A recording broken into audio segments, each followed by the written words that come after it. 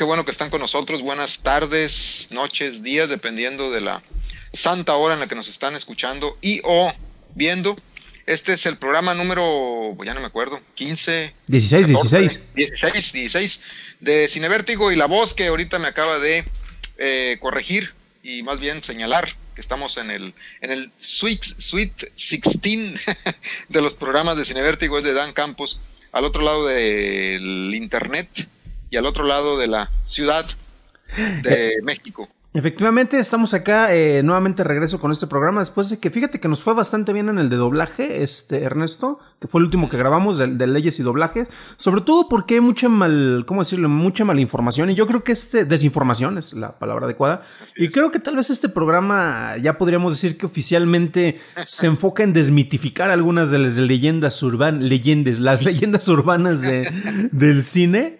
Este, pero por lo menos traemos algo de, investigación y algo de, labor, por lo cual eh, confiamos en que ustedes, si están viendo este programa, por lo menos aprendan un poco más. Si tienen correcciones, háganoslas saber y desde luego, pues nosotros, este, eh, este, corregirlo en base a la información recibida. Y hoy vamos a hablar, eh, no sé si de algunas figuras, Ernesto, que creo que son bastante importantes en la cinematografía en general que curiosamente hay quienes los ubican no necesariamente por la calidad de sus trabajos, sino por ruido, polémica e intriga, emoción, acción, suspenso que hay a su alrededor, ¿no? ¿De quiénes vamos a hablar? Bueno, vamos a empezar a hablar de dos eh, monstruos en el buen o en el mal sentido del término, o y o en el buen este en el bueno y malo sentido del término. Eh, me refiero a, a dos cineastas que como bien dices han estado desde hace mucho tiempo, bueno, son, son prácticamente de la, de la generación, tienen uh -huh. una edad muy, muy similar, andan por ahí ochenteando, casi a la mitad de, los, de sus ochenta y tantos años, y que en las últimas semanas ha estado creciendo, digamos, la polémica alrededor de ellos y de sus obras, y me refiero por supuesto a Roman Polanski y a Woody Allen. Eh, en el caso de Polanski creo que llamó mucho la atención hace unos eh, días en la más reciente entrega del César, que es pues el premio que entrega la Academia Francesa de Artes y Ciencias Cinematográficas, eh, que por un lado, como bien ahí señalas, eh, Polanski se retiró, bueno, decidió no ir a, la entrega del César, de hecho él prácticamente permanece lejos de, de, de, las alfombras rojas y de demás presentaciones, sigue trabajando, sigue haciendo cine, pero se mantiene alejado de eso. Hay que recordar que ni siquiera fue a Venecia, en donde, do, digamos, dobleteó en cuanto a premios. Él, le dio el, el, el, en Venecia ganó con eh, su más reciente película, Jacuz. Eh, yo, yo, acuso que le, ¿cómo le pusieron en español? El espía y el... El espía y el abogado, no, para mí ahorita te digo, pero si era algo así, ¿eh? El oficial y el abogado. Bueno, no, Exacto. No no me acuerdo cómo se bueno yo, yo acuso Jacques que se llama la película en idioma original. En, en Venecia pues eh, un jurado presidido por nada menos que Lucrecia Martel le dio el eh, premio especial que es el segundo digamos el, segundo premio eh, fundamental de, de, Venecia. Y la y la Federación de Prensa Cinematográfica en el que por cierto si mal no recuerdo eh, había mayoría de críticas mujeres de los cinco eh, miembros del, del, jurado FIPRESI le dieron también el premio a la mejor película. Bueno, no fue a, Venecia, tampoco fue a los César, pero pues aún así eh, ganó dos Césares, o dos César diríamos mejor, eh, que es el de mejor guion y el de mejor director. En el segundo caso es interesante, no sabemos exactamente eh, de qué manera lo ganó, y digo esto de que no sabemos exactamente porque hay una regla en el César que yo la verdad desconocía por completo, que eh, estipula que si una película gana la mejor película, o sea, gana el César a la mejor película, su director no puede ganar el César a mejor director. Mm. Entonces va al segundo lugar. Entonces hay dos posibilidades. Una, de que realmente, eh, y bueno, la, la, película que ganó eh, en los César fue Los Miserables. Entonces hay una posibilidad que la directora de Los Miserables este, haya ganado el César y que en todo caso eh, precisamente por esta regla, le hayan tocado al segundo lugar, que fue Polanski, o simplemente que Polanski tuvo más votos, ¿no? O sea, de cualquier manera, este, más votos que, que, que, que la dirección de, de, Los Miserables. Bueno, de cualquier manera, Polanski ganó el César y hay que recordar también esas imágenes que yo creo que vimos, por lo menos en Twitter yo las vi en varias ocasiones, de la directora Celine Siana de, y de su actriz principal eh, de esta extraordinaria película, por cierto, que también se va a estrenar dentro de unas semanas, que es eh, El retrato de una mujer en llamas, extraordinaria película, de las mejores películas que vi el año pasado. Bueno, la directora y su actriz principal salieron verdaderamente indignadas, gritando pestes de la Academia Francesa y pues de, de Polanski. Y bueno, pues surgió, pues, o, más bien no, surgió, yo creo que resurge la, eh, la discusión de qué hacer con, eh, tomando eh, el título de un artículo que leí, creo que sí en The Guardian o en algún otro lado, creo que en The Guardian, qué hacer con la obra de artistas monstruosos, ¿no? En el peor sentido del término. O sea, qué hacer con la obra de grandes artistas que al mismo tiempo son grandes monstruos. Y el ejemplo, por supuesto, era Polanski, ¿no? Sobre todo.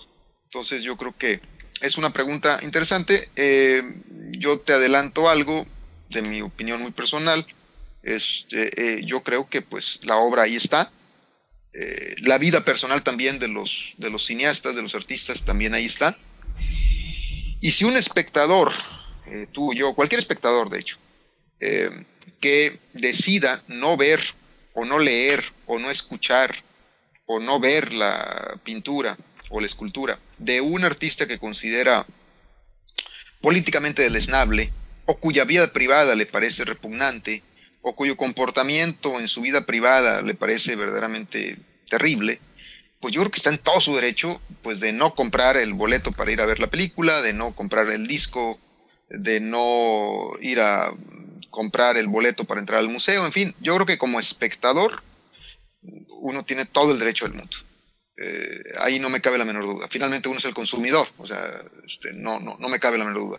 Lo que sí me, me cuesta un poquito de trabajo, debo confesar, es cuando el profesional de la crítica eh, coloca en el, eh, digamos, en, en, en, en, la mesa de discusión la vida privada por sobre la obra. Y ahí sí es donde yo me parece que es un poquito ir más allá de lo, de lo aconsejable.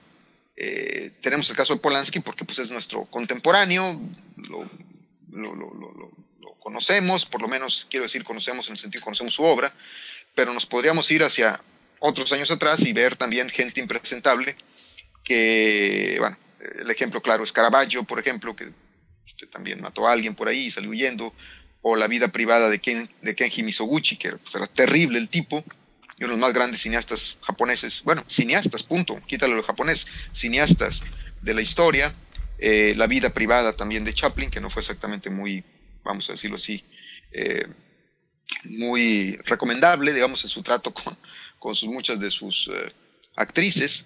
y así, no, vamos, a lo que voy es que si estamos hablando de esto como un pretexto para cancelar la obra de alguien, pues eh, me parece bastante peligroso, ¿no? El juicio moral yo lo acepto, es decir, yo incluso puedo, este, como, como consumidor cultural, hacer un juicio moral sobre la vida de los artistas, pero honestamente sobre su obra, pues es otro, otra, otra, otro juicio, ¿no?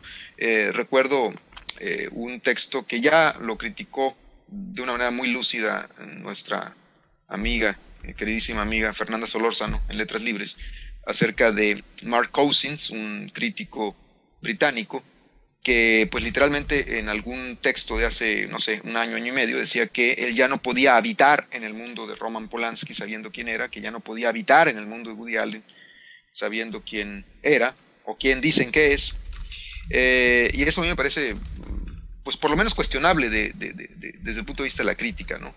Es decir, eh, estás criticando la vida personal de alguien eh, y no la obra. Entonces, ahí creo yo que es, algo que podríamos explorar, ¿no? Y es algo, eh, aquí se debe hacer una distinción también, em, y obviamente nosotros como lectores en este caso, eh, somos los que, bueno, lectores, eh, espectadores, este, escuchas, no, importa en el medio que nos están este, escuchando este, ustedes. Pero, por ejemplo, eh, depende mucho de la perspectiva y yo considero que tiene que ver Em, algo que la misma Fernanda lo mencionaba, y de hecho lo mencionaba, lo menciona ella también en su libro de ensayos, este, em, desde la sala oscura, Crónicas de la sala oscura. Este, estoy inventando el nombre y lo peor de que es que el libro lo tengo allá abajito donde se ve la luz, entonces si de repente ven que me muevo es para corregirme lo, lo del nombre. Este, pero hay un pequeño detalle que se tiene que siempre que diferenciar y es precisamente separar la obra del autor. Es cierto que de repente, basado en las creencias que uno tiene, es un tanto difícil o complicado y nos pasa a todos que de repente una película que si tiene una temática que te pega más, puedes valorarla de mejor manera eh, precisamente porque te llegan los temas eh, en referencia a la calidad que tiene en realidad como obra. Y una obra siempre se debe defender por sí misma independientemente del autor, independientemente de la temporalidad, independientemente de muchos, de muchos factores. Y son muy pocos los casos. Antes de que adentremos esto, voy a darles, este, oh sorpresa, eh, eh, un caso que es muy particular eh, y que viene del mundo del cómic y es con un escritor que ha hecho cosas muy interesantes y que precisamente actualmente está en condena, fue sentenciado a seis años de cárcel, él aceptó también la sentencia. y les doy un poquito de antecedentes. Es este, de hecho, aquí estamos viendo la nota, es Gerard Jones. Eh, y precisamente él aceptó, sabes que seis años de cárcel porque tenía pornografía infantil, lo cual creo que todos podemos estar de acuerdo que es algo, es una de esas, eh, es uno de esos hechos o acciones indiscutiblemente negativas por las cuales eh, si tú lo cometiste debes de irte a la cárcel. El autor en sí escribió muchos cómics con, con, con, con, una calidad impresionante. Él aceptó la sentencia, sabe que la regó, se va a la cárcel.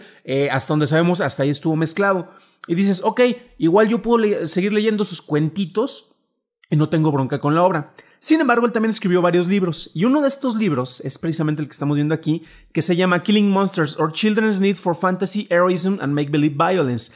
Y aquí es donde de repente se empieza a hacer como que más difusa la línea, porque la temática y el trabajo ya cruza eh, o empieza a tener algo de relación sobre algo de lo que está siendo acusado. Ojo, no está hablando ni narrando cuestiones sexuales en, el respecto de, de, con, infantes, sin embargo sí está hablando sobre la interpretación que los niños pueden tener acerca de distintas figuras de ficción y por qué tienen esas, este, por qué estas fantasías son tan necesarias para, pues ahora sí que para, para crear un mundo mejor y cómo confrontarlo. Entonces de repente el libro eh, no tiene... Eh, ahora sí que eh, en, las luces más positivas es una lectura muy recomendable, de hecho está súper bien escrito el libro, pero sin embargo aquí es donde ya de repente empieza a trastocar precisamente por la temática. Cosa que si nos vamos a los autores de cine que estábamos hablando, eh, si Roman Polanski nos estuviera hablando acerca de un caso en el cual hay una violación de una menor de edad, eh, podríamos decir, ah, caray, espérame, esto ya está como que too close to home. Su película más reciente, la de El acusado y el espía, curiosamente, y lo, dice el mismo Polanski en una entrevista, este, que, es, eh, que, llega muy cercano a casa, precisamente porque compara la historia del acusado, la, la, la cinta es muy recomendable, bueno, al menos a mí me gustó mucho, de un acusado acerca de un crimen que no cometió, pero porque es un linchamiento público, literalmente por cuestiones de raza. Entonces, la historia avanza sobre el juicio a, través de los años y precisamente Polanski se siente identificado con el personaje y obviamente tiene que ver con las acusaciones de las cuales ha sido, eh, ha sido sometido. Eh, una ligera recomendación, eh, varios de estos links ya fueron publicados precisamente en la página de Chorros Palomitas. Si ustedes dicen, ¿saben que ustedes, este, malditos hombres machirulos, tienen solamente una tendencia en la cual van a defender a los, a los caballeros? Ojo, porque también les compartí una nota en la cual se habla, y es muy interesante, voy a mencionar un aspecto de esto, escrita por Harley Freeman, eh, fue precisamente para The Guardian en el 2018, y hace un, una, presenta una postura creo que interesante, pero es más interesante la labor de investigación que ella, y la pregunta que ella tiene es, ¿por qué Hollywood sigue referenciando al violador de menores, de menores, perdón, este, Roman Polanski? Y de repente aquí empieza a mezclar parte de los hechos, parte con la percepción que tienen las personas, porque en el momento que ella escribió, eh, digamos que em, había una especie de reverencia tal vez a Polanski. Recordemos que no había, no había pasado tanto tiempo de cuando se ganó el Oscar precisamente por la película del pianista, donde tuvo una ovación de pie. Eh, la gente lo alababa y decían que, era una pena verdadera que no hubiera podido eh, pasar a aceptar su premio, pero sabemos que porque ah, la misma razón por la cual actualmente reside en Francia es porque pues si llega a Estados Unidos o algún país donde haya eh, acuerdos de extradición, lo meten al bote. Ya estuvo a punto de que lo regresaran, él tiene doble nacionalidad, este, polaca también. Y de repente creo que fue, no me acuerdo si fue en Holanda, donde tuvo un transborde y ya, ya estaban ahí preparados literalmente para llevárselo.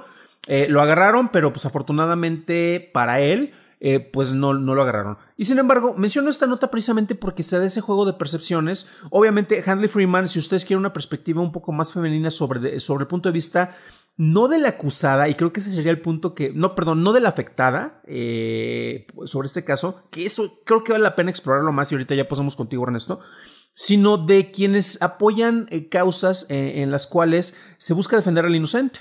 Y en este caso, bueno, Polanski él mismo ha reconocido, él aceptó, eh, se le hicieron creo que cinco cargos en, su momento, de los cuales desechó, bueno, no se desecharon varios, pero dijo, sabes que yo accedo a estos, yo me entrego a la ley, no, no tengo ninguna bronca, pero de repente a manejo legal, porque querían hacer un ejemplo de él, pues fue de, ah, ok, perfecto, te votamos de esos cinco cargos, eh, eh, te votamos cuatro, dejamos uno, los números los estoy inventando, no me hagan mucho caso en ese sentido, pero te vamos a dejar por el cual en vez de darte 5 años, que es lo que habíamos acordado, te vamos a meter durante 60 años a la cárcel. Yo, Polanski dice, ¿sabes qué? Ahí nos vemos y es cuando se decide autoexiliar en el extranjero. Se me hace ridícula o divertida la expresión de me voy a autoexiliar y no estaré en todo el mundo, excepto en todo el mundo, menos en Estados Unidos. Entonces, bueno, este se fue a la jaula infinita que está allá afuera. Y es entonces cuando se le da seguimiento. Eh, Polanski tiene una primera acusación precisamente por haber eh, sostenido, eh, haber violado y haber sostenido relaciones sexuales con una menor, creo que fue de 14 años, si no me falla la memoria. 13 años. 13 años, perdón. Este, pero las circunstancias no atenúan, pero sin embargo le, le, te ayudan a entender mejor. Y hay quienes no leen esas circunstancias. Entonces, precisamente este programa es como para ahondar poquito en eso. Y precisamente porque hay quienes se cargan la causa ajena y se sienten los defensores de los inocentes cuando en realidad, eh, y ahorita les voy a mostrar precisamente la, la, cita, tan pronto la encuentro porque sí la había dejado aquí ya preparada, este, que, sí, que dice precisamente Samantha Gamer que es la afectada, y esto es una nota de Vanity Fair en la cual se discute acerca de Roman Polanski. Eh, Demanda a la academia porque lo expulsaron de la academia. Recordemos que desde el año pasado, la nota es del 19 de abril de 2019, tenemos una mayor apertura de la academia tanto en género como en raza como en etnia para que sea más diversa. Y pues desde luego tenemos el asunto del Me Too que es muy importante, muy relevante y precisamente dentro de eso, este, menciona en mayo concretamente Samantha Gamer, la mujer a la cual eh, Polanski asaltó sexualmente cuando tenía 13 años, le dijo a Vanity Fair que esa decisión, o sea, la decisión de expulsarlo de la academia, era una fea y cruel acción que solo sirve en, apariencias. Y ella agrega, eh, no cambie nada la, cultura sexista que, está en Hollywood el día de hoy y simple y sencillamente prueba que son capaces de tragarse entre ellos para sobrevivir. Yo le dije a Roman, eh, ella no yo, si tuviera el número de Roman lo hubiéramos invitado ahorita para hablar. Este, pues buena suerte y, mala mierda. La academia no tiene honor, eh, son simples y sencillamente relaciones públicas. Ella precisamente también eh, ya ha dicho en reiteradas ocasiones que ha hablado con Polanski a nivel personal, ya lo perdonó, entiende las situaciones, dice que, o sea, no niegue ninguno de los dos niegue el hecho, es lo más importante. Se sigue buscando Polanski porque evadió la justicia y bueno, ya explicamos poquito por qué le evadió, porque de repente como que le cambiaron la jugada sobre algo que había accedido y ha estado constantemente, creo que el último fue también en 2019 cuando cambió de abogados precisamente para seguir apelando, porque él básicamente pues quiere seguir este, teniendo libertad de tránsito y poder entrar no solo a Estados Unidos, sino a países que tienen los acuerdos de extradición para llevárselo. Pero bueno, yo ya hablé demasiado, vamos contigo Ernesto, sobre este caso y sobre eh, las personas tal vez que se agregan eh, las causas ajenas de la defensa del inocente, eh, sobre cómo ha avanzado este caso. ¿Crees que tenga alguna posible resolución o va a estar siempre como el juego del, del gato y el ratón por distintas causas? ¿Qué va a pasar con Polanski? Bueno, no, ni idea. no, no, no, no, leo el futuro. No, pero, pero eh, digo, eh, es entendible. Bueno, esa fue la, argumentación de Polanski, efectivamente, al, huir, ¿no? De que incluso hizo notar que el juez estaba, eh, digamos, dispuesto a hacer un ejemplo, efectivamente, con, con su caso. Entonces, que iba a haber una sentencia desproporcionada, aunque también habría que decir eh, que tener sexo con una menor de 13 años, el castigo que tan desproporcionado puede ser, ¿verdad? Eso habría que ver el adjetivo que tan desproporcionado. Pero bueno, el chiste es que él temió una, un castigo que para él resultaba ser eh, desproporcionado, huyó de, de, Estados Unidos, huyó de la justicia y de hecho por eso se le castiga, porque porque estaba bajo fianza, ¿no? Libertad bajo fianza y pues se peló, ¿no? Eh, Y como bien decías, en el caso de, de, esta muchacha, bueno, esta niña, que luego ya es una mujer, Samantha Gamer, ha dicho una y otra vez que, pues, eh, literalmente que la dejen en paz, ¿no? Que no utilicen su caso para golpearlo. Este, no diría que yo que lo defiende como tal, pero, pero de alguna forma dice, yo no estoy dispuesto a jugar el papel de víctima para que ustedes me tomen como ariete eh, contra Polanski o contra otros cineastas. De hecho, tuvo por ahí una entrevista gamer hace algún tiempo, eh, hace un par de años o tal vez un poquito más, en el que eh, precisamente le reprochaba a Mia Farrow que pues durante muchísimos años permaneció silenciosa frente a Polanski, ¿no? Porque hay que recordar, bueno, que Polanski y Farrow tienen una, o tuvieron una relación de trabajo muy cercana, porque bueno, pues nada menos que una de las mejores películas de los dos, tanto de Mia Farrow como de Polanski, fue el bebé de Rosemary. Y, eh, y bueno, eh, digamos que durante muchísimos años, ah, pues ahí está el, Twitter, ¿no?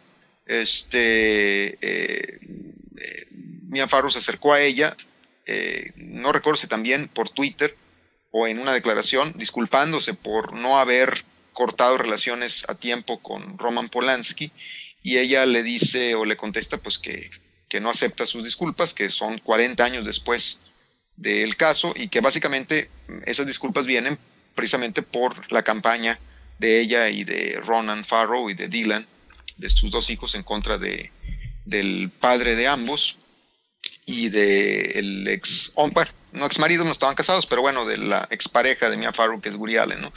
Entonces, eh, de hecho, en la cuenta de Twitter de Samantha Gamer tenía, no sé si todavía lo tiene, tenía como su descripción de bad victim, ¿no? O sea, como diciendo, soy una mala víctima, no quiero ah, pues ahí dice, Bad Victim, ¿no? Bad Victim, all, the school feminists learned the hard way, no my true, won't assume to know yours. Perdón, traduciendo para la gente que este, nos falla el español o el inglés, eh, una mala víctima, eh, feminista de la vieja escuela, aprendió de la manera difícil, sabe cuál es su verdad, no asumirá cuál, que sabe cuál es tu verdad. Ahí el juego de palabras es muy importante.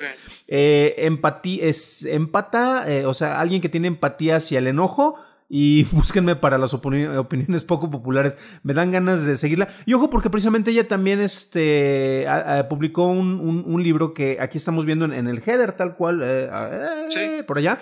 Que este, una vida en la sombra de Roman Polanski, por lo cual ella precisamente es víctima de quienes buscan eh, justicia, y si estoy usando comillas muy libremente, para la víctima. Entonces resulta que ella, pues por, por por ser el estandarte de quienes no se ponen tal vez tanto a investigar, que buscan una causa, pero no les interesa quién se la justifique, pues ella ya es una víctima más de quienes en realidad este, se supone estarían buscando algo positivo. Chale. Sí, bueno, y, lo, interesante es que, como bien comentas, ninguno de los dos, ni Polanski ni Gamer, ponen en duda lo que sucedió, este, al final de cuentas.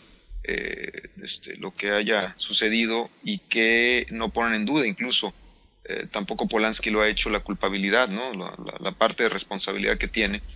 Eh, y, eh, y, el asunto más bien tiene que ver con esa decisión de huir de la justicia, de, no afrontarla, por las consideraciones que haya tenido Polanski. Lo cierto es que al final de cuentas se termina convirtiendo su caso en un caso emblemático a partir pues del movimiento este, del, de, de Me Too, con toda razón se termina convirtiendo en un caso emblemático. El asunto es que Gamer dice, pues no me tomen a mí de... De, estandarte. estandarte. Y ha tenido sus discusiones con, eh, este, con algunas, incluso con algunas de las feministas que acusaron a Harvey Weinstein. Y consta que Gamer no, no, no, no es que defienda a Weinstein ni nada, sino que dicen, a ver, dejen de usar mi nombre para atacar a otros, ¿no? O sea, en todo caso, pídame permiso a mí para, para usar mi, mi caso, ¿no? Eh, entonces, bueno, es, es, un, es, un, es, un caso interesante el de, el de Polanski. Ahora, al final de cuentas, y aquí hay algo que, que yo quisiera sí mencionar, es que mm, este caso de Polanski, como ahorita vamos a pasar al de Allen, se convierte en un caso en el que mucha gente parece que tiene que tomar una posición. Es decir, eh, a mí qué? o sea, sí, o sea, bueno, de alguna manera lo estamos haciendo nosotros, pues estamos discutiendo sobre este caso. Sí, sí, sí. Pero eh, a lo que voy es que eh, estas piezas así de reflexión entre estética, que quiere mezclar la estética y la moral de una manera, por lo menos, un poco coherente eh, y en el que cada quien tiene que tomar una decisión. Y, yo qué opino sobre el caso de Polanski? ¿Y yo qué opino sobre este otro caso? Bueno, a ver, eh, otra vez, eh, la conversación cultural tendría que estar sobre la vida privada de estos individuos. En algunos casos podría ser pertinente. Y, y sí te, te digo, por ejemplo, al inicio mencioné el caso de Kenji Misoguchi.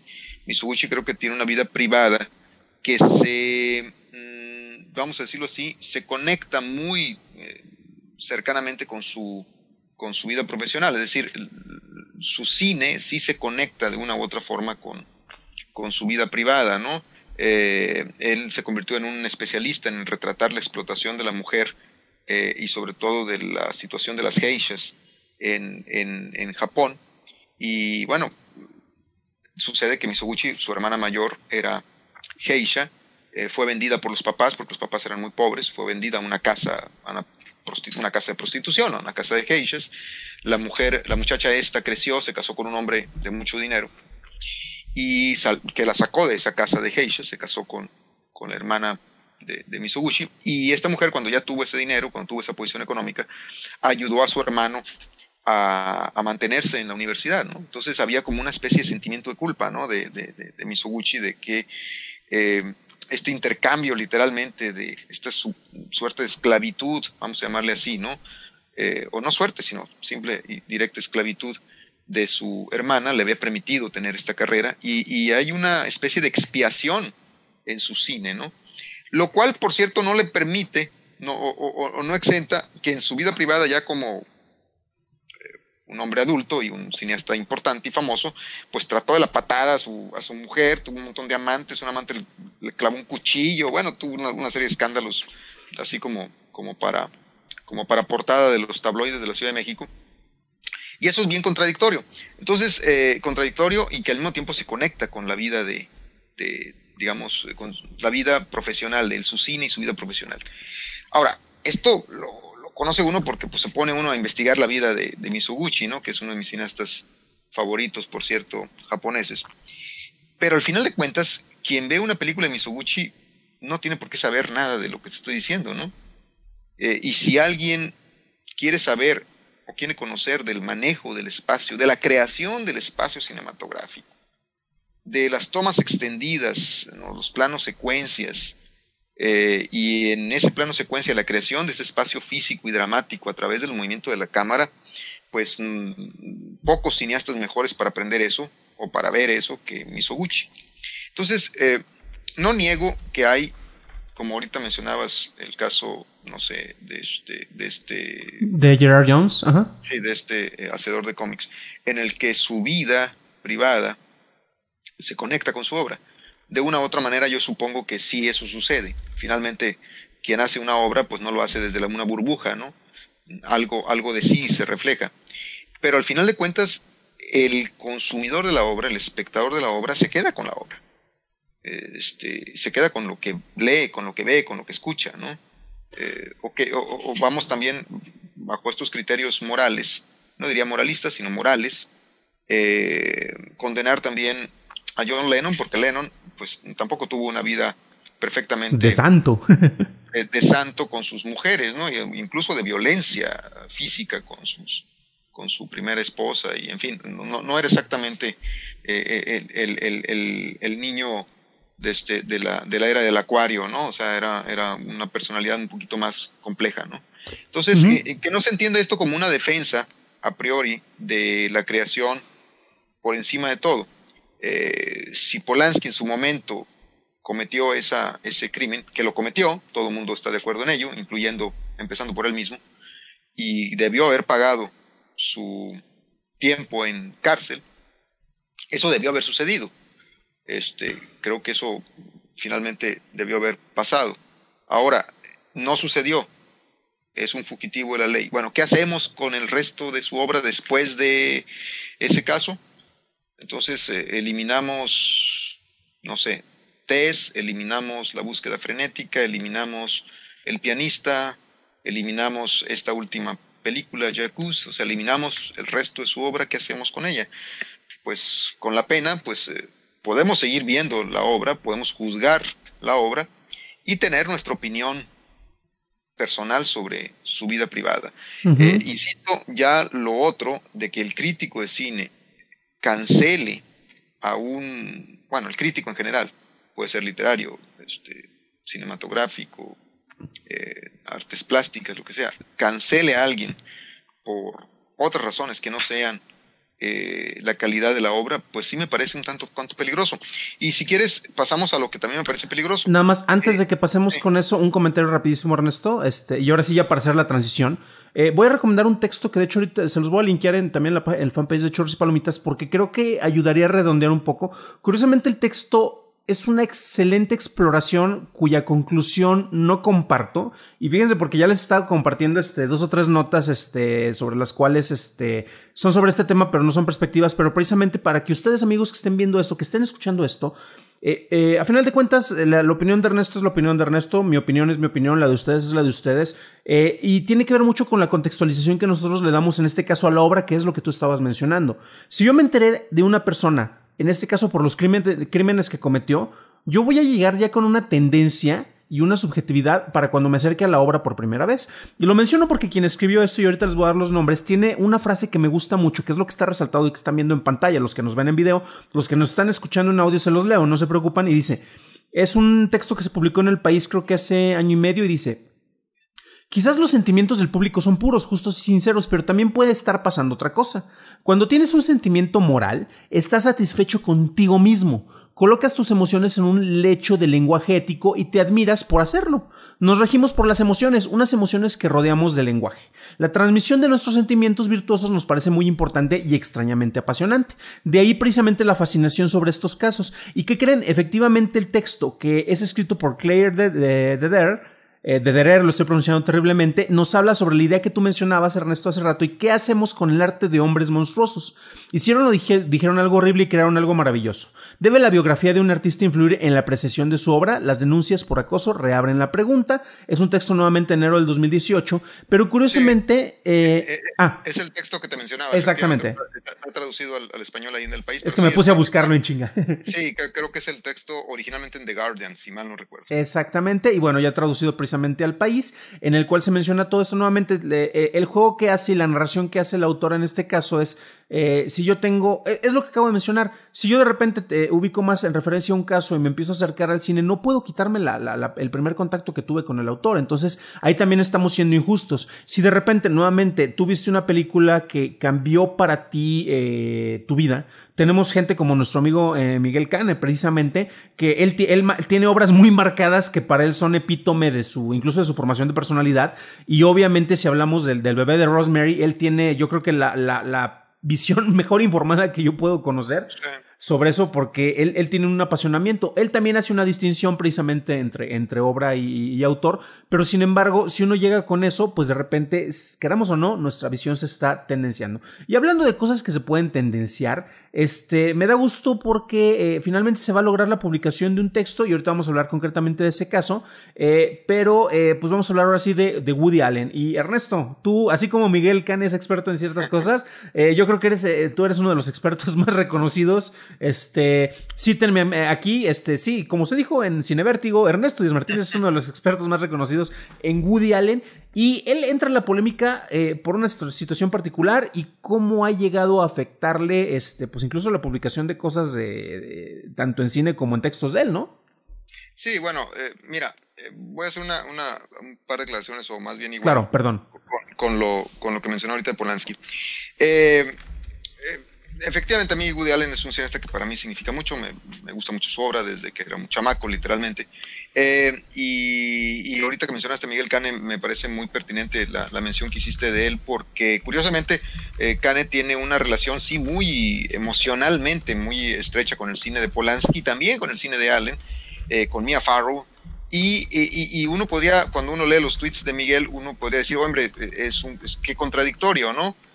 Sí le cree, por ejemplo, a Dylan Farrow acerca de las acusaciones que hace o que ha hecho Dylan acerca de, que fue molestada sexualmente por Guri Allen cuando ella era una niña. Y sin embargo dice, eh, sin embargo yo no puedo vivir sin el cine de Woody Allen, no puedo vivir sin eh, La otra mujer, por ejemplo, que le parece extraordinaria, lo cual también yo estoy de acuerdo, es una de las grandes películas de Allen, o no sé, Broadway, Danny Rose, y tampoco como puede dejar de vivir de este, de, digamos, sin la obra de Polanski, sin Tess, o sin eh, el bebé de Rosemary, que bien mencionaste tú, o Chinatown, en fin. Mm. Eh, y dice, bueno, ¿por qué? Pues porque a pesar de eso puedo separar la obra. Y en el caso de Miguel Canes es, es, interesante porque, bueno, tiene experiencias, no estoy aquí revelando nada, es lo de hecho público, experiencias traumáticas, digamos, que lo acercan precisamente a las víctimas, eh, tanto de, a la víctima este, conocida del caso de Polanski y a la víctima que, o alegada víctima, supuesta víctima del caso de, de Alden. Eh, entonces yo creo que es, es, es interesante esto, ¿no? De que es posible hacer esa separación. No todo mundo lo tiene que hacer, también eso me queda claro. No todo mundo lo, lo, quiere hacer, también me queda claro. Y están en todo su derecho, insisto, como espectador. Uno, uno puede cancelar como espectador a, a, un, este, a, un individuo, a un artista que a uno le parece deleznable, ya lo he dicho y lo repito. Eh, en el caso de, de, Allen, eh, yo empezaría con una condena moral. Eh, eh, ¿cuál es la condena moral? Allen es culpable moralmente de haber engañado a Mia Farrow, eso nadie lo niega tampoco como el caso de Polanski, con la hija adoptiva, ¿no? Con, de Mia Farrow, ¿no? Eh, Sunji.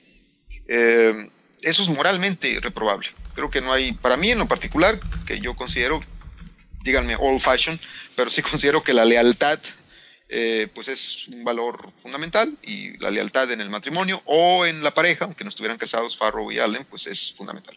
Y que además hayan dejado esas fotografías de los desnudos de, de Sunji en un lugar por ahí cerca para que los viera Mia Farrow, habla de, de, pues eh, de, no, de no querer enfrentar, ¿no? Seguramente la, la realidad este, y enfrentarla directamente a Mia Farrow, decirle a la hija, ¿sabes qué, mamá? Pues con el perdón, pero pues me voy a ir con tu marido. Y de él también, ¿no? Y, la declaración de él incluso después, cuando dice en alguna declaración famosísima que se ha repetido una y otra vez, ¿no? El corazón quiere lo que el corazón quiere, algo así dijo en su momento Woody Allen, como diciendo no puedo dominar sobre mi corazón, pues no deja de ser un tanto cuanto egocéntrico, ¿no? O sea, yo decido, mi corazón decide y entonces que arde el mundo, ¿no?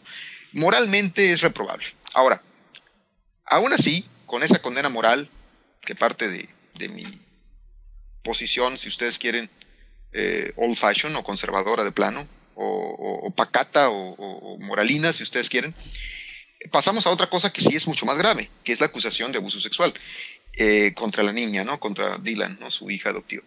Y ahí es, el asunto es, a ver, hay una condena moral este, eh, sobre ese caso. El caso me refiero de Woody Allen con Sunji.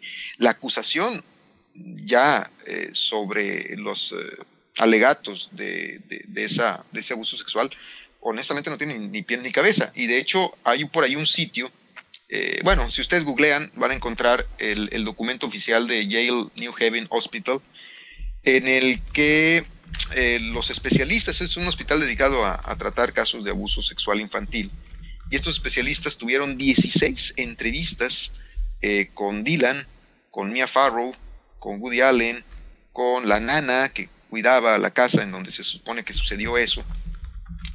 Y las conclusiones están ahí, están en un PDF que alguien lo puede leer, son dos o tres cuartillas, está, es libre la, la lectura.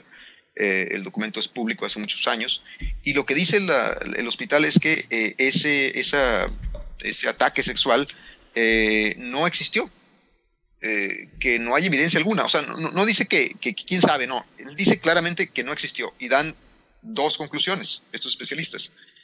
una es que la niña haya inventado, creado todo en su imaginación, Ah, pues ahí está, de hecho, ahí está, la, ahí está ahorita en pantalla el, documento. La otra es que haya sido coacheada, porque también se sabe que en el video en donde la niña relata todos estos, digamos que su papá la tocó y que le hizo no sé cuántas cosas, eh, el, asunto es que el, video estaba mm, editado. Y no solamente editado, sino que además el lugar en donde estaba grabado habían cambiado las habitaciones. Entonces, como que había sido grabado no solamente en diferentes... Eh, sitios, sino evidentemente en diferentes momentos y diferentes días. ¿no? Eh, Y, eh, y, bueno, la conclusión es, a que llegan estos investigadores es, a ver, la niña tiene una, una, a parecer tiene una imaginación muy fuerte, entonces pudo haber inventado eso, pudo haber sido coacheada y lo que llegan a la conclusión es que seguramente fue una, fue una combinación de ambos elementos, entre la imaginación de ella y, eh, y el coacheo de Mia Farrow. ¿no?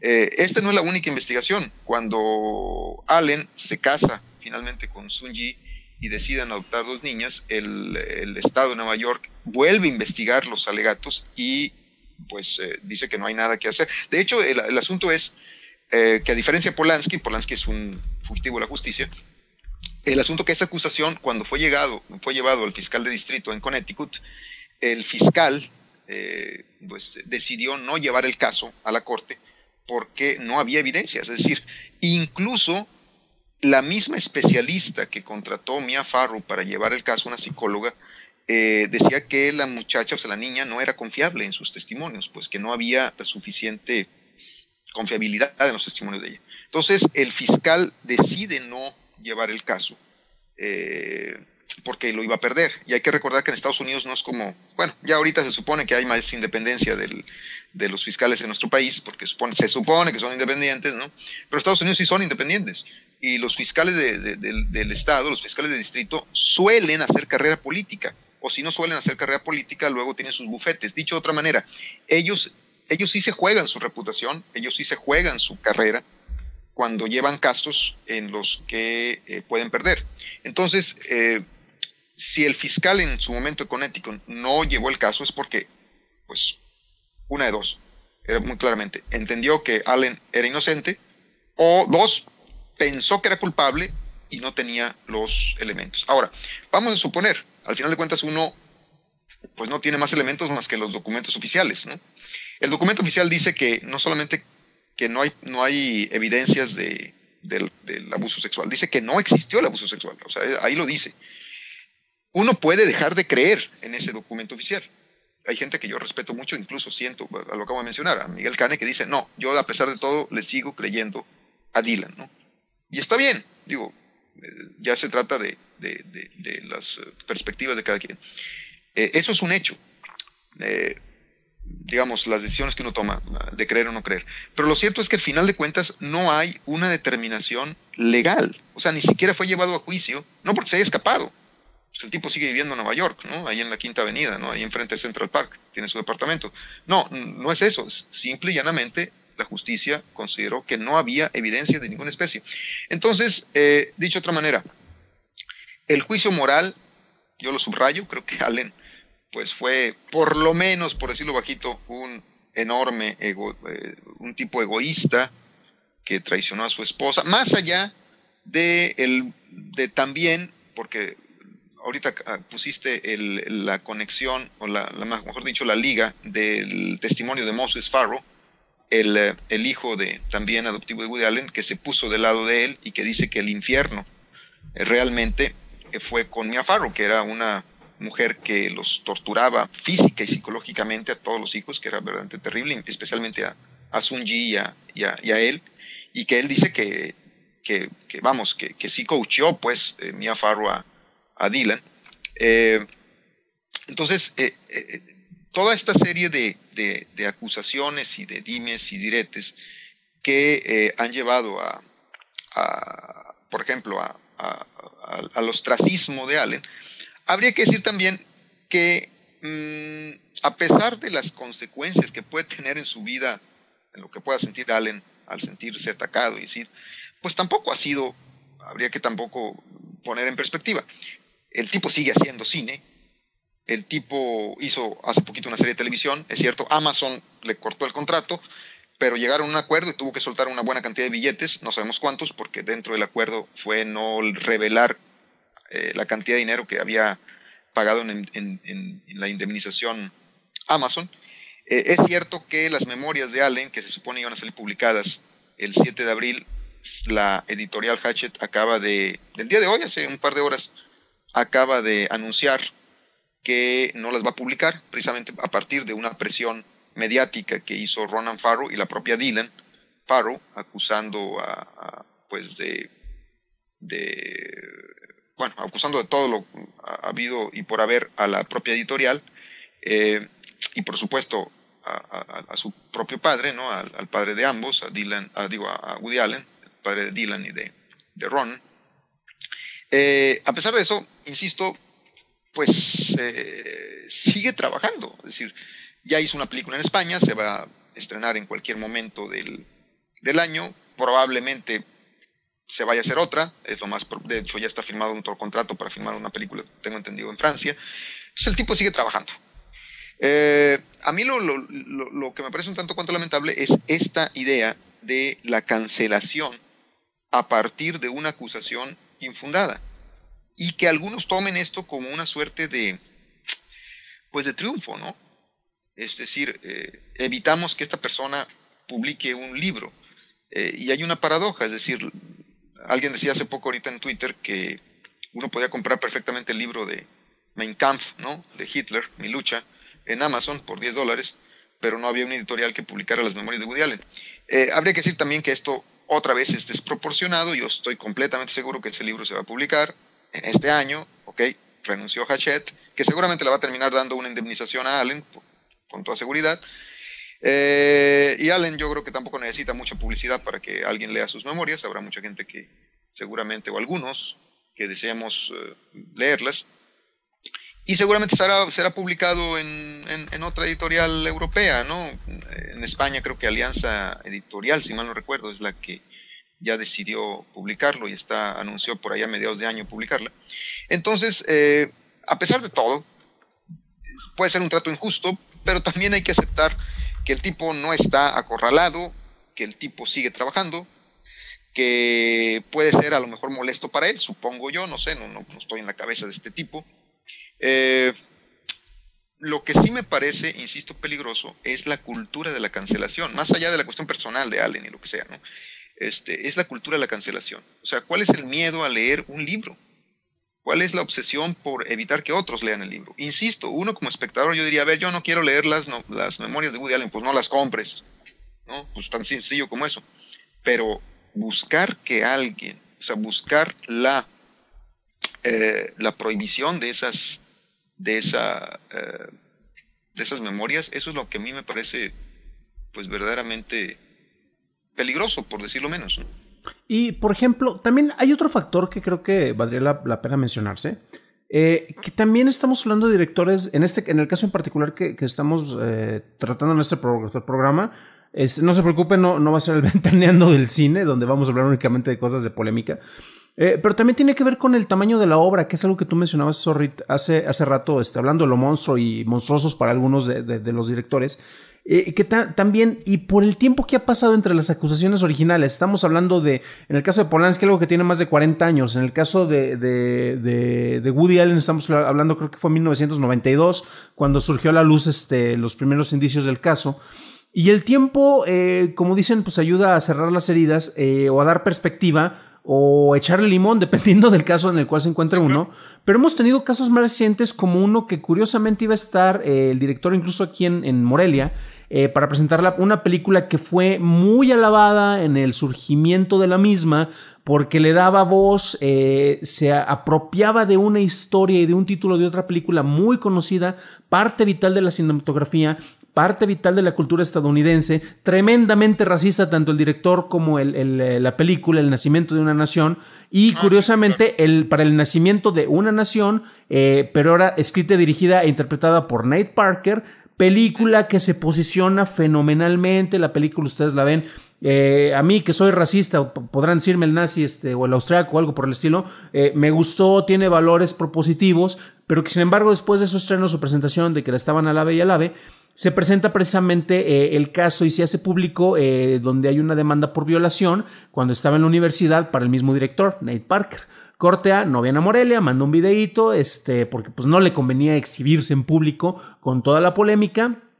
Y este, pues el caso ha avanzado en distintos aspectos. Ahorita estaba viendo concretamente eh, cómo ha ido avanzando, porque este es un caso de 1999 con un director que no ha hecho tantas cosas como Woody Allen, aunque arrancó con un, algo que podría ser una, una carrera eh, prometedora, que sin embargo se coaptó, se, cortó este, en, en, en, ese sentido, aunque sigue haciendo distintos trabajos. En el 2000 estoy viendo precisamente, este, en 2016 es precisamente donde está como director y productor. Este, antes fue actor y en 2019 American Skin está también como director y escritor, pero sin embargo son cosas que a él le pegan más directamente porque tal vez no tiene o mayor apoyo tanto el público de la audiencia de la crítica de una obra que lo respalde como un, director y las acusaciones también son distintas porque estamos hablando de un caso de violación durante la universidad, lo cual eh, no tiene el mismo impacto tal vez a cuando te dicen, y es lo que tristemente, y es lo que me, me, hay veces que me frustra o me enoja, no sé cómo decirlo, de las personas que no leen más que el titular. Y por ejemplo, si tú ves, famoso director se acostó y se va a casar con su hija, dices, qué escándalo. Dios santo. Es Woody Allen, la hija es mayor de edad, o sea, sí efectivamente hubo cuestiones de infidelidad. Y no es, su hija, pues. eh, no es su hija biológica, o sea, este... Era adoptiva tampoco.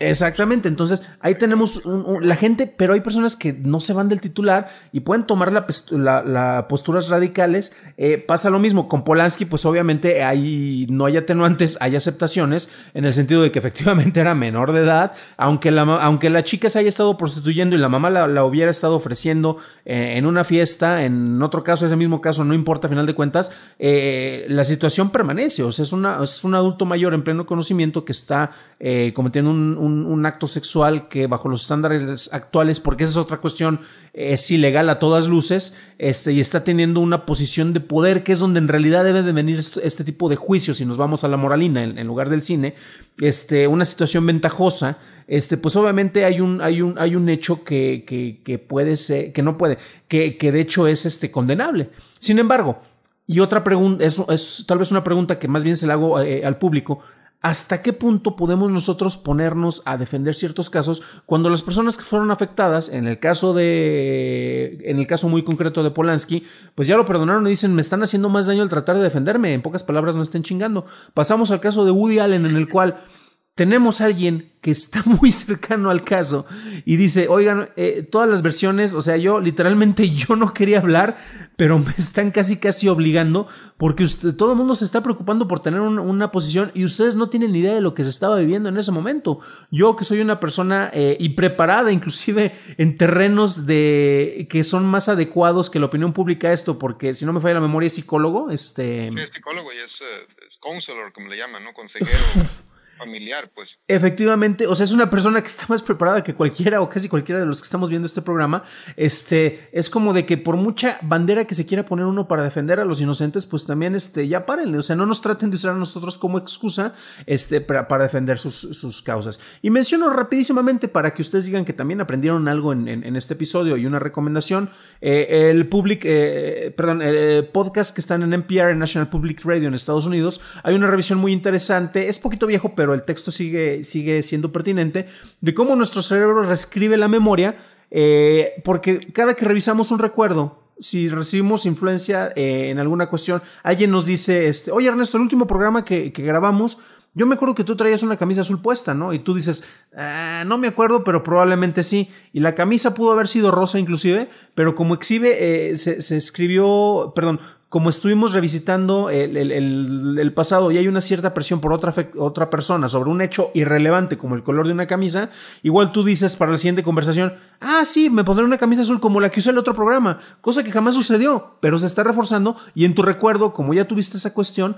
pues simple y sencillamente este, pues ya fue alterado. Nos pasa a todos, ¿no? De repente ves una foto y dices, ah, caray, yo esto no lo recuerdo, o ves un video, no, es que sí no pasó porque nosotros hemos estado contando una historia en base a cómo sentimos o en base a cómo lo recordamos y tristemente en varios casos, aquí estuvimos discutiendo dos y una mención de otro, este, pues obviamente pueden afectar. Nuevamente, los dos directores que mencionamos al principio, pues no se van a morir este, en el hambre, precisamente no van a tener carreras este, cooptadas, siguen ganando premios. Es bueno o es malo, eh, para nosotros es pertinente mencionarlo cuando hablamos de la calidad de la obra que están representando ellos. Eh, para programas de, de, de, juicios de ética y de moral, que yo creo que también es un aspecto que, que, es muy válido discutirlo, pero es, otro, es otra cuestión que está por encima tal vez de lo que nosotros estamos discutiendo en este momento. Y honestamente, como público y como audiencia en general, eh, pues qué tanto nos queremos apropiar. Ahí estaba el texto que estábamos, que tú bien mencionaste al principio y que afortunadamente encontramos para que vean que sí hay producción, en el cual pues de repente pues nos adueñamos de más y queremos tener una opinión sobre lo que honestamente no es necesario. en serio, no debemos de tener opinión sobre las vidas ajenas, aunque sean famosos y aunque eh, pues estén exhibiéndose, eh, bueno, no se están exhibiendo, son del conocimiento público, pero no se exhiben para que los juzguemos, caramba. Y bueno, al, final de cuentas, insisto, queda la obra. Yo también no creo que tampoco hay que ser demasiado escándalo de ello, insisto, Allen tiene su obra, eh, conociendo lo que ha dicho una y otra vez, yo creo que seguramente si le preguntaran diría pues que esto no importa demasiado porque todos vamos a estar muertos dentro de poco tiempo y nada de lo que hagamos tiene demasiada importancia. Este, y, ahí queda, al final de cuentas, la obra para ser revisada, ¿no? Eh, ahorita, evidentemente, durante y el resto de su vida, muy probablemente, y después de ella, pues eh, mucha gente conocerá eh, el cine de Woody Allen y a lo mejor lo asociará a este escándalo. Como por ejemplo sucede con el caso de Fari Arbuckle, que es un caso que yo conozco y escribí un texto hace un tiempo sobre, sobre el caso de Fari Arbuckle, que lo reproduje, de hecho, amiguitos, ahí en mi blog, en el blog de Patreon. Eh, ya me tardé en, publicitarlo. y, que, bueno, precisamente habla del caso de, de Fari Arbuckle, este extraordinario comediante que fue el mentor de Buster Keaton, eh, y que eh, fue acusado también de la violación de una mujer, eh, fue juzgado en tres ocasiones, en tres ocasiones, porque, la, porque en las dos primeras ocasiones el jurado no se pudo poner de, de acuerdo. primero había mayoría para, para culpabilizarlo, para hacerlo culpable, luego hubo una mayoría para declararlo inocente y al final en el tercer juicio fue declarado inocente por unanimidad en una, en una determinación que duró literalmente 15 minutos. ¿no? Eh, y que eh, los historiadores contemporáneos, cuando han estudiado el caso con cuidado, dicen que pues no había evidencia de ninguna especie, de ninguna violación. Lo que pasa es que en su momento eh, William Randall Hearst, el, este, bueno, este dueño de buena parte de los periódicos de Estados Unidos, que, cuya vida se apropió Orson Welles para el Ciudadano Kane, tomó el caso de Fari Arbuckle para convertirlo en un caso, pues, de literalmente de amarillismo, para vender muchísimos periódicos. Eh, William Randall Hearst dijo alguna vez que él vendió más periódicos con el caso de Fari Arbuckle que con la guerra de Estados Unidos contra Cuba, que fue por allá a finales del siglo XIX. Y que, eh, y, esa, y, ese linchamiento mediático. La guerra contra España, ¿no? Perdón. Perdón, la, la, guerra contra España en Cuba, ¿no? Sobre Cuba. Eh, y que y que bueno, ese linchamiento mediático hizo que le destrozaran la, carrera a Fariar. Insisto, cualquiera que sepa un poquito más allá de, del libro de Kenneth Unger que se llama Hollywood Babilonia, que es un extraordinario libro muy entretenido, pero que está lleno de mentiras y lleno de chismes y lleno de cosas incomprobables. Eh, más allá de ese extraordinario libro, insisto, de Hollywood Babilonia de Kenneth Unger, si alguien ha leído algo, es más, la, Wikipedia del caso de Fariar, para no ir tan, ser tan sofisticados, se dará cuenta que el caso no tenía ni, pies ni cabeza. Entonces, en la actualidad, ahorita, pues alguien podría volver a ver el cine de Fari Albert y decir, hombre, le arruinaron la vida porque murió a los 40 años de edad o algo por el estilo, eh, medio olvidado, semi olvidado, escribía guiones con seudónimo, murió de depresión y de alcoholismo. No es el caso ni de Polanski ni de Woody Allen. Eh, en el caso de Polanski siendo culpable de, de, lo que se le acusó, y en el caso de Woody Allen siendo culpable de un delito moral tal vez imperdonable, que es huir con la hija adoptiva de su mujer, y siendo inocente, creo yo, de acuerdo, no creo yo porque lo, lo crea de, con pie ciega, ¿no? sino porque dos autoridades especializadas en eso dijeron, no hay evidencia alguna de que haya cometido esa, esa, ese abuso sexual contra, contra la niña. Eh, pues ellos han seguido su carrera, más allá de acusaciones verdaderas o acusaciones, o sea, acusaciones con sustento o sin sustento. Al final de cuentas, yo considero que lo que queda es la obra y, es lo que queda para ser juzgado, ¿no? Más allá de cualquier otra cosa. Exacto. Y bueno, eh, ya para terminar, ustedes pueden juzgar la labor que están eh, sintiendo se hizo para el beneficio o maleficio de ustedes eh, a través de estos programas y la forma de hacerlo es muy fácil. Este, pueden apoyar a Ernesto Díaz Martínez en patreon.com diagonal Díaz Martínez en el cual pueden, si ustedes este, quieren adulterar encuestas, hagan como yo, miren. Me volví Patreon de Ernesto Díaz Martínez y está promoviendo cuál es la película de la semana. Lo están viendo en vivo, esto no es truqueado, no hay postproducción. ¿Sabes qué? Yo creo que eh, a mí me gustó esta porque es la única que vi.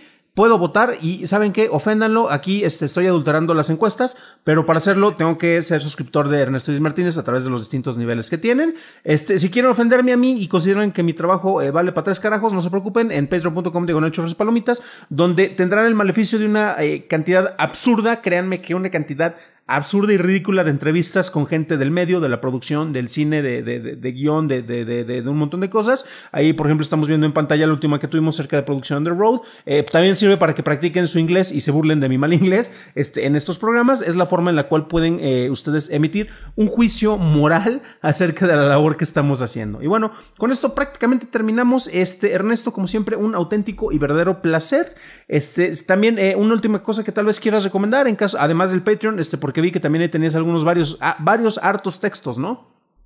Bueno, sí, claro, por supuesto, ahí en, en, en Patreon, el, esto reciente sobre todo recomendación de la que es este gran clásico de Jack Turner que está programado en la Cineteca Nacional. Ahorita el FICUNAM está haciendo una retrospectiva. Debo confesar que yo nunca he visto esta película en pantalla grande. Mm. Y como pues la Ciudad de México me queda lejecitos, pues yo creo que ya no la vi, por lo menos el día de hoy, a ver en qué festival me la vuelvo a topar.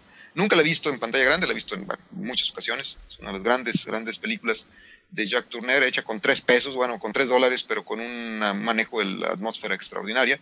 También mi crítica de hoy, ya eh, pues extensa, digamos, es sobre Honey Boy, eh, esta película basada, por cierto, también en la vida privada de Shia LaBeouf. Él escribió el guion acerca de su experiencia como niño actor con su papá, que era un auténtico monstruo. Y por supuesto, bueno, también pueden leer en Letras Libres, escribo ahí quincenalmente, generalmente sobre televisión, no exclusivamente televisión, pero pues ahí también me, me encuentran. Y, eh, y pues en Patreon, amiguitos, este, échenle lana porque no soy camaleón para vivir del aire, como Este, ni siquiera, ni camaleón ni vaquero, así como a, la de rango, ¿no? Que, ah, qué buen western es ese. Bueno, yo también me despido, voy a aprovechar también para hacer un shameless blog de un programa que es, literalmente es para, eh, los que están viendo el video probablemente hayan notado que ha habido un pequeño cambio de look en las últimas ocasiones, y precisamente para hablar de eso, como ya no tengo este, este, un pelo de tonto, pues me puse a hacer un podcast que apenas salió el primer episodio y se llama De pelo en pelo. Sí, lo estoy promocionando. Es un podcast enfocado en la calvicie. ¿Por qué carajos estoy hablando de esos temas? No tengo idea, pero estaré ahí hablando acerca de distintas, distintas cuestiones, tratamientos, temas de salud, este, belleza, ¿por qué no decirlo de alguna manera? De hecho, esa es la categoría en la cual estamos en, iTunes. Aquí estamos como salud y forma física. Eh, no se preocupen. ¿Y de, belleza vas a tener invitados o qué? Eh, pues sí, yo, yo de tiro, yo no. Es como belleza y experiencia. Pues aquí está la experiencia de Ernesto. Mi belleza, pues, solo que sea el vello del brazo, ¿no? sí, no, esta es como la, foto esa famosa de López Dóriga hablando de, feminismo. Eh, tal cual, ¿no? Tal cual.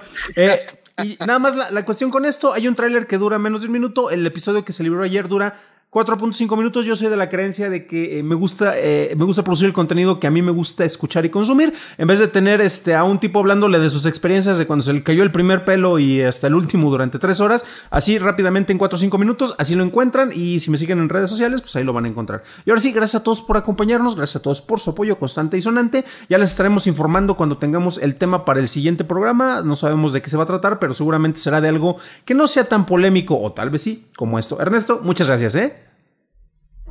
Y gracias a los que aparecen en los créditos.